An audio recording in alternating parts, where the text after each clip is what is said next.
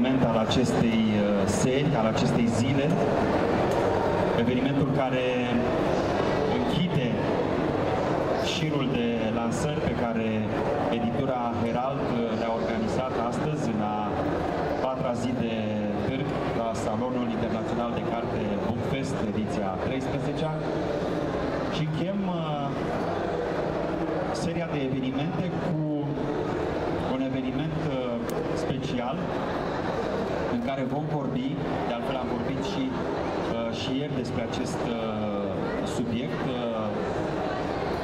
la volumul Nașterea Conștientă, despre mindfulness. Mindfulness ca stil de viață. Vom aduce în discuție două noi apariții editoriale în colecția Mindfulness la editura Herald. Volume, lucrări pe care noastră le, le vedeți aici. Este vorba despre mindfulness în acțiune, dezvoltarea armonioasă cu ajutorul meditației și a prezenței conștiente, o carte la care a lucrat în calitate de redactor colegul nostru Mihai Liță, carte scrisă de Ciochean Trumpaș și de asemenea Mindfulness, muncă, sex, uh, bani, trăiește de plin conștient în uh, viața reală, deoarece aceste două titluri apărute în colecția Mindfulness conturează o imagine mai cuprinzătoare despre cum ar putea fi viața noastră zbuciumată, viața noastră uh, cotidiană de zi cu zi, adusă într-o zonă a calmului, într-o zonă a echilibrului, a trăirii conștiente, a prezenței conștiente și a autocontrolului, după care, bineînțeles, tânjim cu, cu toții. Alături de, de noi, uh, în această după amiază,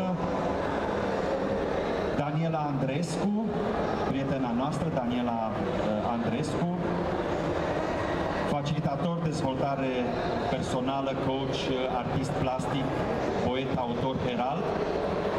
Lucian Negoiță, psiholog, psihoterapeut, formator Asociația de Hipnoterapie și Psihoterapie Cognitiv-Comportamentală și colega mea, Luisa Neac, coordonatoarea colecției uh, Mindfulness, pe care aș dori o să spună câteva vorbe despre această colecție și mai ales despre titlurile care uh, urmează să apară în această colecție. Eu aș aminti doar câteva din cele care au apărut. Vorbim despre uh, mindfulness pentru părinți, mindfulness zi de zi, mindfulness pentru profesori, uh, 8 pași către fericire.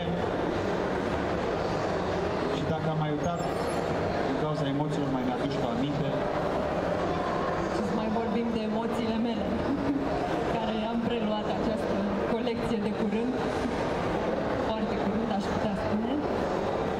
Ehm, da, o să vă spun despre un uh, studiu care s-a efectuat la Universitatea Leiden din Olanda, un studiu celebru de altfel, apropo de mindfulness, ehm, în care se urmărea motivația, care sunt motivațiile celor care caută să practice mindfulness 45% dintre cei care au fost intervievați uh, doreau să practice mindfulness pentru ca să își reducă stresul și anxietatea, 30% doreau să-și îmbunătățească starea de calm, de pace interioară, de bine în general, 30% se apropiau de mindfulness pentru că uh, le fusese recomandat de o persoană apropiată și doar 5% mindfulness pentru că aveau nevoie de o cale spirituală pentru a se descoperi pe sine. Iată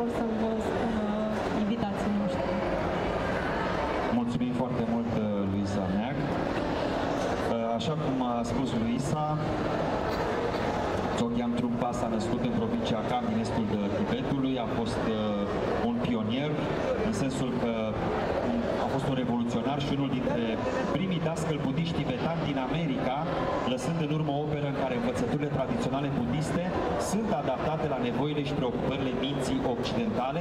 Cu alte cuvinte, uh, învățăturile lui sunt spuse pe uh, limba noastră.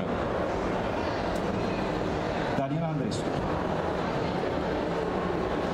Din experiența, în experiența ta, ca trainer, coach, facilitator pentru dezvoltare personală, noi putem ajunge la o stare de echilibru, de seninătate, de armonie în viață doar citind cărți de mindfulness sau un rol foarte important în dobândirea acestei stări de echilibru îl are uh, practica zilnică a mindfulness-ului. Mulțumesc pentru întrebare. De obicei îmi place să răspund la întrebări așa încât să provoc nițel. Uh, Deci răspunsul ar fi nu știu. Poate sunt oameni care citind ceva li se deschid mințile atât de tare încât practica după aceea ca o confirmare sau ca un exercițiu care să continue. Pentru alții cunosc lume și am și citit, au zeci de ani de practică și e ca și cum n-ar fi secund stația adevărată.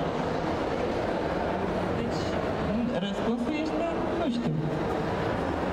Da, frumos uh, răspuns.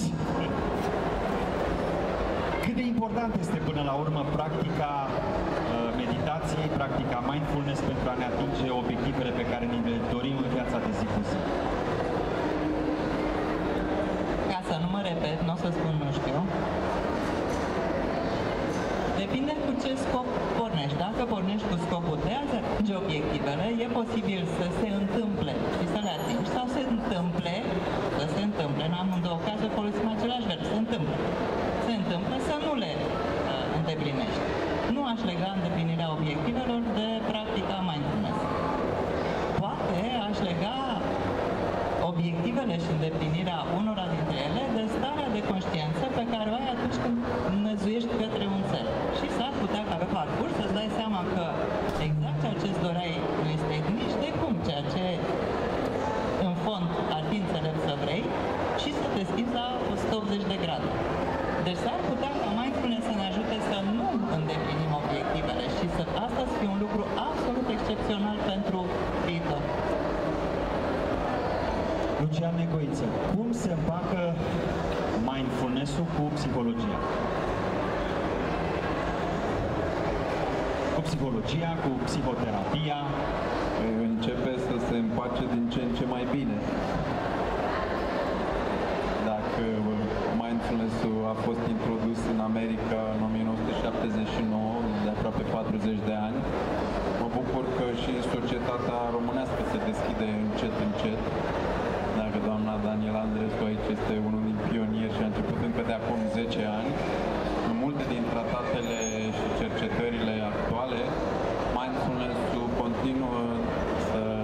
dezvolte și să fie introdus ca practică, aș îndrăzni să spun poate la strategii de lucru cu mintea, de lucru cu emoțiile.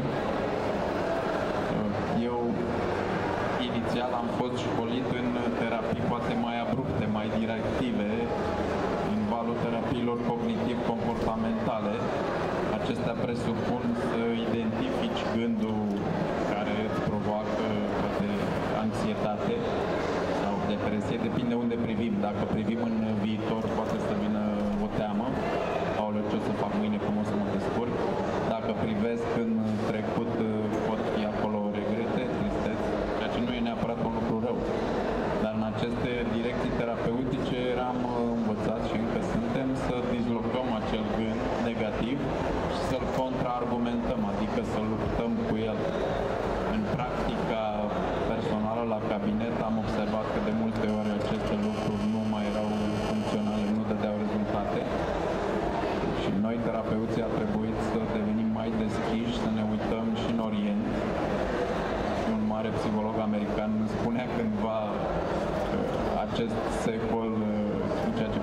ce privește domeniul psihologiei, fie va fi al Orientului, fie nu va fi deloc. Mă bucur că am început să acceptăm una din atitudinile care presupune practica mindfulness, a trebuit să acceptăm să introducem încet încet în locul nostru cu oamenii și practicarea mindfulness-ului. Referitor la cartea uh, Mindfulness în uh, acțiunea lui Țogheam Tropa, uh, se vorbește despre societatea occidentală, societatea contemporană, care pune accentul pe acțiune și ca mesaj și ca îndemn pentru concetățeni. Deci trebuie să fii tot timpul în, în acțiune, să fii tot timpul pregătit cumva. În aceste condiții, care este calea de a adopta non-acțiunea în viața noastră zilnică? Cred că și non-acțiunea implică o acțiune. Nu ai cum să nu acționezi. Nu avem cum să nu respirăm. Și respirația este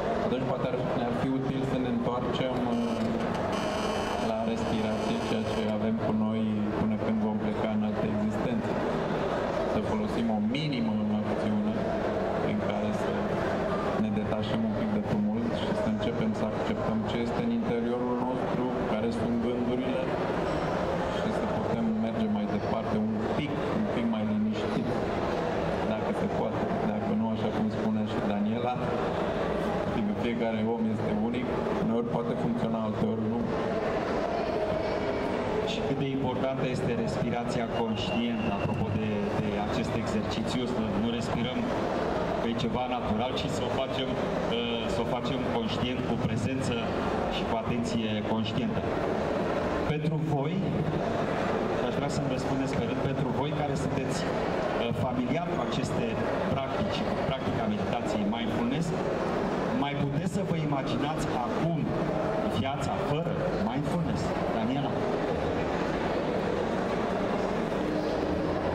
Daniela? Dacă practici mindfulness, atunci în principiu încetezi să mai îți imaginezi tot timpul. Deci nu pot să-mi imaginez pentru că n-aș vrea să-mi imaginez. Ce părere te răspunsul? Genial! Atunci, hai să o privim și din altă perspectivă. Uh, Nu că nu-mi imaginez, ci odată pornit pe un drum, este imposibil să te întorci. Poți să rămâi blocat într-o zonă. E posibil să ți dărâme cerul preț de câteva evenimente de viață și s-ar putea să fie pe stop o între- și practica și starea interioară. Nimic rău în asta, dar să te întorci de unde ai plecat, în acea, aș zice eu, întunecare și confuzie totală, nu cred că e posibil. E posibil să fii și să acționezi și să reacționezi extrem de confuz, total necompasiv și tot felul de lucruri care îți imaginezi că le-ai depășit și în același timp să fii prezent și conștient că faci acest lucru și nu te poți opri. Și acum vorbesc pentru că am trăit astfel de momente și nu pentru că îmi imaginez. Totul să fie acolo când se întâmplă. Și uneori poți, alteori nu poți să faci faci ceea ce ar fi ideal conform cărților astora, multe pe care le citim și care sunt excepționale.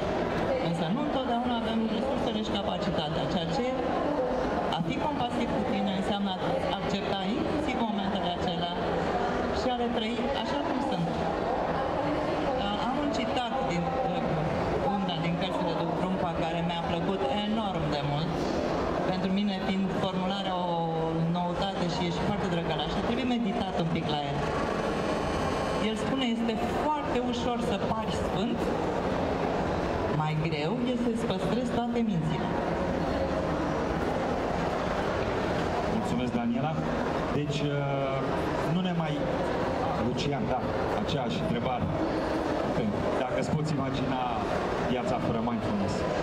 O să continui tot cu un citat din cealaltă carte al uh, domnului Trumpa. Este bine să nu te apuci de un lucru, dar dacă te-ai apucat, te ții de el să nu lași mizerie în urmă. Aș considera practica mindfulness o dependență funcțională, așa cum poate pentru mulți dintre noi sportul ne ajută să funcționăm. Mindfulness-ul fac o comparație cu mersul la sală. Mergem cu corpul la sală, poate noi occidentalii nu suntem obișnuiți să mergem și cu mintea la sală sau măcar cu actul observației. Pe măsură ce practici cumva te prinde în joc, îi vezi utilitatea practică și pentru tine personal și în relațiile tale cu ceilalți. Poate nu vei atrage abundența, poate nu vei schimba karma, nu avem de unde să știm lucrurile astea, dar se întâmplă ceva, începe să-ți placă. Adică devine un fel de stil de viață. Ar fi de dorit. Fi de dorit. Probabil uh, autorul uh, ne recomandă calea acțiunii, să nu ne retragem, să nu ne izolăm. Nu știm uh, pentru mulți dintre noi ce reprezintă acest stil de viață. Cu siguranță, deocamdată pentru mine la această vârstă, nu propun să mă retrag, ci să funcționez utilizând practica mindfulness în viața mea și în relațiile mele.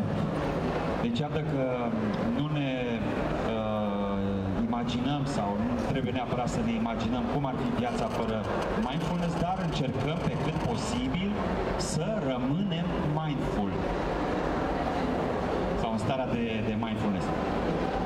Când uh, vezi cuvintele uh, sex și bani, referitor la uh, cartea Muncă, Sex, Bani, în titlul cărții te gândești în prima fază că ai în mână o carte ușor frivol. Asta, în primul rând, nu prin conținut, ci prin titlu. Cumva inclusă la categoria self-help. Nici de cum scrierea unui mare maestru încarnat. Ce fel de tulcu este Țocheam Trumpa, Daniela? El își diluează mesajul tradițional de dragul popularității sau absolut tot ceea ce se întâmplă în viața noastră de zi cu zi se poate întâmpla sau, sau poate deveni un soi de practică spirituală? Ai avut mai multe întrebări în această unică întrebare, vreo trei în unul, mi se pare mie. Uh, Din cunoașterea mea atâta câtă este, eu nu știu ca să existe un mesaj tradițional. Uh, Tradițional budist, uh, ideea este că fiecare maestru transmite așa cum simte el și crede și știe și realizează că este util pentru cei care îl ascultă. Deci nu știu să existe tradițional atunci când este autentic. E adevărat, este, uh, Trum- uh, Trumpa este unul din maestrii, să zicem, pe alocuri controversat, nu în ceea ce privește învățătura, ci în ceea ce privește comportamentul lui, să spunem, în decursul timpului. Uh, Unii spun că se purta mai lumește, ca să zic așa, pentru că ăsta era felul lui de a uh, învăța pe ceilalți. Alții spun că nu, că nu trebuie să te porți așa. Deci câte păreri, atâtea puncte de vedere.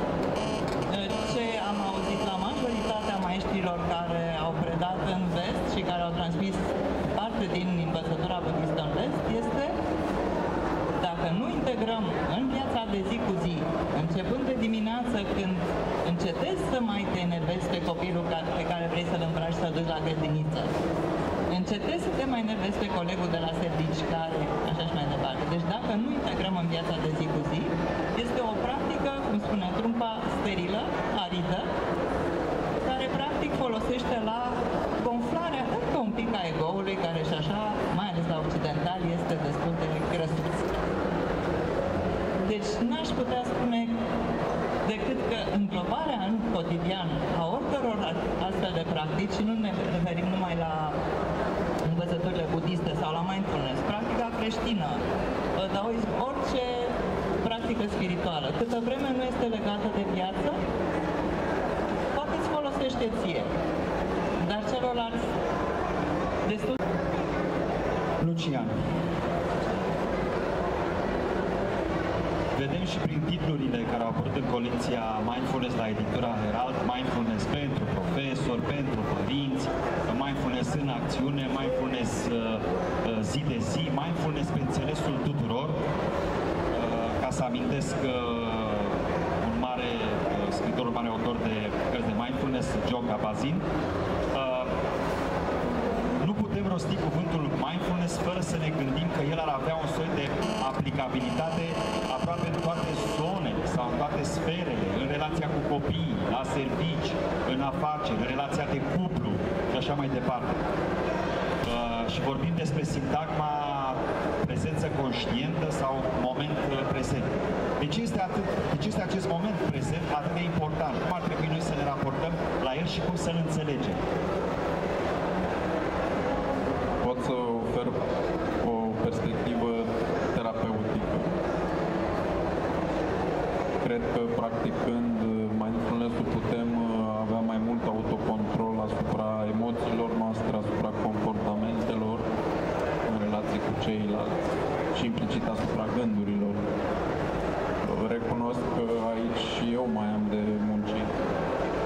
Aseară cred că țipam sau am ridicat un pic tonul rușine să recunosc, nu sunt un fariseu, nu mi este tot timpul. Dar măcar când țip, știu că țip conștient. Și ok, că poate aleg în acele momente, nemai având resurse pentru alte strategii. Dar, repet, încet, încet, cred că noi căpătăm mai mult autocontrol în ceea ce privește reacțiile noastre și ne domolim acel tumult interior al gândurilor, al emoțiilor. Mulțumesc, Lucian. Daniela, care ar fi obstacolele care pot apărea în practica meditației? Să zicem, cineva își dorește foarte mult, nu știu, ori vede ca un model, ori merge la un curs, la o conferință, la un seminar uh, pe acest subiect, pe mindfulness și își dorește să înceapă uh, practica meditației. Care ar fi obstacolele care ar putea să apară în astfel de situații? Hai să zicem momentul debutului practicii mindfulness. Deci te referi strict la a începe. Da. A începe practica. Exact. De mâine vreau să încep practica meditației. Cu ce obstacole mă confrunt? Sau ce pot apărea? Poate nu mă confrunt, poate. Sărind în zona Reiki și alte de spiritualitate, e o vorbă foarte frumoasă japonezilă inițiale în Reiki. Doar astăzi nu mă supăr. Doar astăzi nu mă mănânc. Doar astăzi orice vine după aceea. Deci ideea de mâine încep practica meditației mi se pare destul de împiedicătoare din start. Căci a începe ceva e ca și cum de mintea presupune că de acum colo asta mă paște, asta e soarta mea, aoleu, nu mă mai apuc. Pentru foarte mult. Și atunci, dacă îți imaginezi, uite, doar mâine o să meditez, doar la ora 8 dimineață, nici de seara, doar o singură dată, s-ar putea, prin sistemul de contrazicere la care suntem foarte bine exersați, să facem și a doua oară, și a treia oară. Deci pentru mulți funcționează a nu-ți propune de acum încolo pentru totdeauna asta voi face. Deci un obstacol este a-ți imagina că poți. Aici cărțile voastre de la de, uh, a patra cale, Gurgiev, sunt excepționale. Cel mai mare obstacol în calea dezvoltării omului este că își imaginează că poate. dacă își imaginează că are voință. Iar oamenii de știință și confirmă că resursele de voință se creează pe măsură ce uh, îți exersezi voința și ai resurse. Când nu ai, nu ai. Uh, alt obstacol, chiar pentru a începe, este plăcerea noului. Azi încep ceva, mâine altceva, deci frunzărim în diverse direcții și practic nu te duci pe o una singură care să cât de cât ca să poți experimenta să știi. Primul răspuns la întrebarea ta mi-a venit în minte pe Malciodron, care spune despre cele 5 sau 7 soiuri de lene. Lene, de toate felurile, intelectuală, fizică, ție lene. Să încep ceva altfel decât rutina cu care ești obișnuit. Asta nu ne place. Asta cu lene e cea mai reală. Alte sună mai spiritual, filozofic. Asta cu lene... Putem vorbi doar de lene sau putem vorbi de un soi de procrastinare, adică amânare?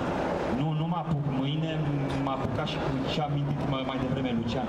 De mâine, la, sau, nu, nu, nu de mâine, merg de săptămâna viitoare. Nu mai știu pe din afară care erau cele 5 sau 7 soiuri de lene, sunt mai multe, deci când nu e una, e alta. Procrastinarea, în înțelegerea mea până acum, este o formă specială de a, de a face ceea ce dorești, mai profund. Când am în ceva, e clar că vrei să faci altceva. Poate să, fie nu, să nu fie deloc vorba despre lene. Și s-ar putea întâmpla să nu mai amâni în momentul în care ți-e clar și ești motivat și vrei să faci. Deci, pentru mine, toți cei care amână și procrastinează, cum se spune mai modern, au un motiv foarte profund în interior pentru care fac asta. Să-l vadă pe acela și până s-ar putea să se deblocheze amânarea. Lucian, există un timp ideal al uh, practicii zilnice în mindfulness, adică, nu știu, în meditație. Ar trebui să avem un timp, nu știu, o oră, două, trei, cinci, toată ziua. Zi de zi sau... Și din uh, discuțiile noastre mai devreme, așa că fiecare om este unic. Atunci fiecare dintre noi uh, își va crea un sistem propriu și un timp propriu. Ce îmi place mie în această practică este abordarea blândă, să spunem, înțelegătoare cu fiecare dintre noi. Dacă vrem să medităm 3 minute în metrou, e ok. Dacă vrem să facem un walking meditation, atunci în drum spre birou, e ok. Ne ajută faptul că mindfulness ne propune atât practica formală, strictă, să spunem, riguroasă, ceea ce implică meditații sau exerciții de yoga, dar ne oferă și această largă posibilitate de-a lungul unei zile obișnuite, poate atunci când uh, spălăm vase, desigur nu este cazul meu, dau doar exemplu. Când spălăm uh, vase, când uh, reparăm ceva, sau când stăm de vorbă cu un prieten, cu soție, deci e ok să utilizăm și astfel de momente, aducând prezența noastră conștientă, atenția focusată în aici și acum. Și încet, încet dobândim, încet, încet dobândim. S-ar putea să mă opresc aici. Daniela, de ce sunt utile aceste cărți de mindfulness? Vorbim la modul general cărțile de mindfulness și cu precădere cele două cărți despre care noi uh, povestim astăzi, uh, Mindfulness în acțiune și Muncă sex bani lui Țotian Trupa. De ce le-ai recomandat? Trei întrebări. Eu am constatat și cred că pentru mulți se, se poate aplica, uh, cărțile au în foarte mare parte vocea autorului. Și atunci e vorba aceea cu, cu cine rezonezi. Deci dacă simți că ceea ce îți transmite simți mai aproape, e posibil ca acel tip de carte să, să te ajute. Pe de altă parte, când avansezi un pic în practică și nimerești de o voce care îți displace, recomandarea mea este să citești exact acel lucru care îți displace, pentru că asta te scoate din rutină. Rezonanța... zona de confort. Nu doar confort, rutina mentală. Îmi place, deci e ca mine, deci îmi confirmă, deci eu sunt ok și autorul este excepțional pentru că îmi place mie.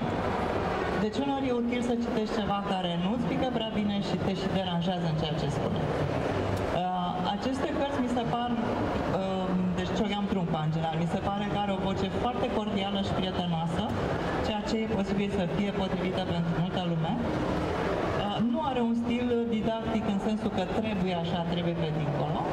Pentru unii a le spune exact cum trebuie făcut este o mare salvare, pentru alții este îngrozitor. Deci fiecare să-și aleagă ce îi se potrivește, cel puțin în prima instanță. Uh, aceste două cărți uh, mi s-au părut și ca informație, dar și ca ton. Deci, în toate cărțile de mai spune, spune mai devreme, pentru părinți, pentru naștere, pentru școală, pentru casă, pentru tot. Practica mindfulness e una singură. Și dacă o aplici, poți să o aplici oriunde, inclusiv în acest moment, practica pentru Târgu Bookfest 2018. Putem scrie o carte și despre asta. Deci nu informația este neapărat nouă, ci cum o spune și ceea ce transmite prin tonul pe care o spune. Mie îmi vorbește la Maieșe, am Trumpa și uneori uh, cei care sunt foarte aspri directiv și care de fapt de doi bani, pentru că atunci ați mai scade nițele go, ceea ce este excepțional, mai ales pentru cititorii și practicanții de spiritualitate, să-și revină un pic din ceea ce spune Cioghean Prumpa, peția spiritualității. Deci să ne trezească un pic de aspirină din partea cuiva care, sau nu știu dacă este aspirină, deci să ne trezească un să pic de peție. Pe pământ. Mulțumesc, Daniela. Aceeași întrebare pentru Lucian. De ce ai recomanda aceste cărți? Ce ți s-a părut atât de interesant? Aș îndrăzni să fac o comparație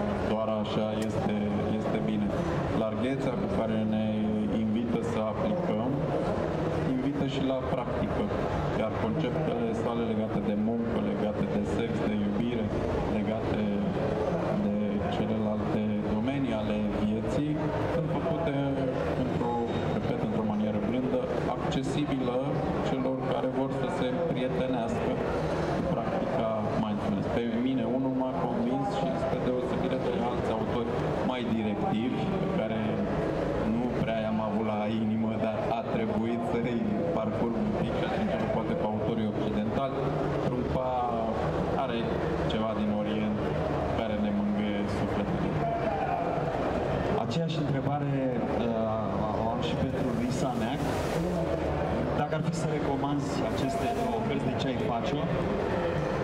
Ce ți s-a părut util și important ca, ca învățătură? Așa, în felul acesta, poate mai colocvial pe care o, îl face Trumpa, mai aproape de noi, mai blând, mai... Da, nu știu dacă pot să adaug ceva în plus față de ce au spus invitații noștri. Uh, Exact asta, că are un ton foarte apropiat și este și puțin sfătos, totuși. Dar uh, cât să te motiveze și da, n-aș zice neapărat că te, nu te provoacă, te ajută foarte mult. E foarte suportiv și e foarte susținător.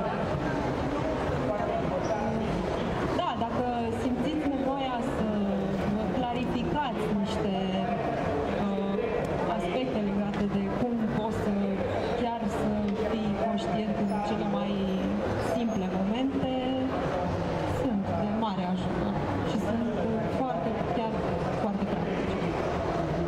Și profit de ocazie ca să, ca să spun și despre următoarea apariție în colecția Mindfulness, cartea Carlei Naumburg, 1, 2, 3, Respiră. Este vorba despre uh, cum să aplicăm mindfulness cu copiii noștri pentru a evita anumite crize de personalitate pe care ei le fac și a trăi într-o familie cât mai armonioasă și conștientă. 1, 2, 3, respiră, că tot vorbeam mai devreme de respirație, de respirație conștientă, de a fi prezent, de a fi prezenți acum și aici, că tot vorbeam și mai devreme de Ellen Watts, să fim prezenți uh, și pre, cu prezență conștientă în tot, uh, tot ceea ce facem, în toate momentele zilei și toate momentele și acțiunile noastre pe care le întreprindem în decursul unei zile. Noi le mulțumim invitațiilor noștri, Lucian Negoiță, Daniel Andrescu, colega mea Luisa Neac, pentru că au fost alături de noi și ne-au uh, transmis uh, informații foarte utile din aceste două cărți ale lui uh, Țoghean Trumpa, colecția Mindfulness a editurii Herald. Este vorba despre muncă, sex, bani și mindfulness în acțiune. Vă invităm să achiziționați aceste cărți, precum și celelalte din colecția Mindfulness pe care le-am menționat, le-am subliniat pe parcursul discuției noastre.